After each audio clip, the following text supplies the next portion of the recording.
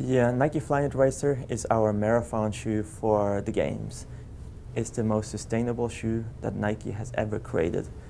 A normal shoe is made out of many, many different pieces, and each of those pieces you have to cut out, and then everything around it becomes waste.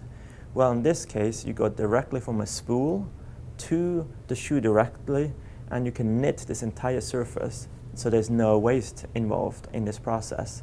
It's one single thread the inspiration was to create a sock-like feel.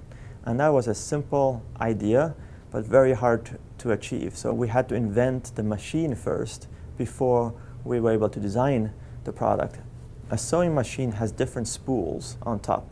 And out of those different spools, it comes to the areas where you stitch, or in this case, where you actually knit. So we can literally fine tune from those different spools to the exact specifications we're looking for. So for example, in an area where you need more stretchability, we used a thread that has more stretch. And in areas where you need more support, we used a thread that is more supportive. So we can now fine tune it to the smallest millimeter this entire surface.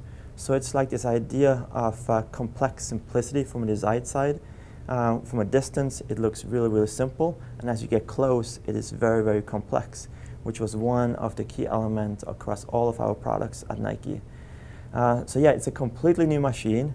Another way to describe it is almost like a um, traditional jet printer, where you put the paper in, and it prints, and it comes out printed, and very much like this, you can literally stand there and it's knitted right in front of your eyes and it's one single surface like a piece of paper of a jet printer that comes out. That's probably the best way to imagine how this uh, product is created.